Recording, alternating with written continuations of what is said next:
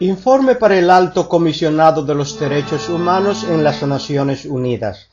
Trabajé para la Iglesia Adventista alrededor de 20 años en varios países, México, Puerto Rico, República Dominicana. Durante 40 años, cuatro décadas, he comprobado las violaciones a los derechos humanos en esa seta destructiva. Ahí no hay libertad de expresión, no hay libertad de culto, no hay libertad de conciencia no hay libertad de comer lo que el creyente quiere.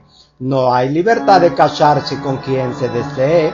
Además, pude comprobar que los principios terroristas que enseñan en sus universidades Estudié en la Universidad de Montemorelos en México y en la Universidad Dentista de República Dominicana y que sus pastores y profesores defienden son los mismos de la Al-Qaeda y los talibanes.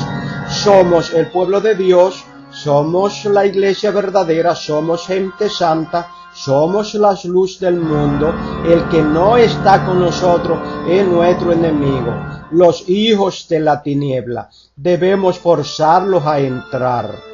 No somos ellos, estamos dispuestos a dar la vida por nuestras creencias, van a ser destruidos. Tenemos la verdad. Nuestra profeta lo dijo. Estos mismos principios fueron los que llevaron a David Corre a la masacre de Waco, Texas.